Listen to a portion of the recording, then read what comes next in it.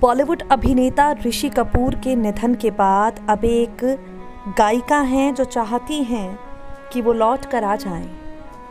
ये बात आप सब जानते हैं कि ऋषि कपूर उस दुनिया में चले गए हैं जहाँ से उनका लौट कर आ पाना मुश्किल ही नहीं, नामुमकिन है बावजूद इसके, स्वर कोकिला लता मंगेशकर चाहती हैं कि ऋषि कपूर लौट कर आ जाएँ।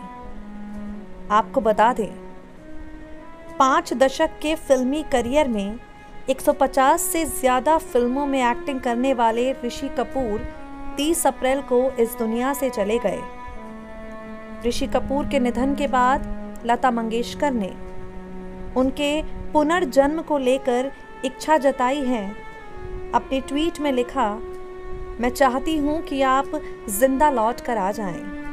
लता मंगेशकर अपने ट्विटर हैंडल पर ऋषि कपूर को याद करती हुई लिखती हैं, ऋषि जी, आप बहुत याद आ रहे हो और हमेशा याद आते रहोगे।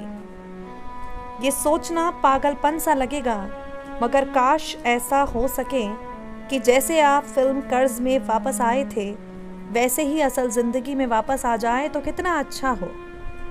उन्होंने इस फ़िल्म के गीत ओम शांति ओम का वीडियो पोस्ट किया और लिखा कर्ज एक ऐसे इंसान की कहानी है जिसका कत्ल उसकी पत्नी कर देती है, लेकिन वो दूसरा बदला लेने के लिए दूसरा जन्म लेता है।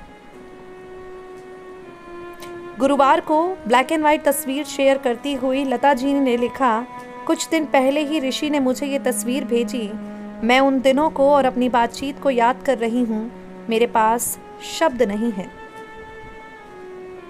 ऋषि कपूर, लता मंगेशकर के दिल के बेहद करीब थे। और आज जब वो इस दुनिया में नहीं हैं तो लता जी को लग रहा है काश वो कहीं से वापस आ जाएँ, एक बार फिर से ज़िंदा हो जाएँ। नेक्स्ट नाइन न्यूज़ से मेघा की रिपोर्ट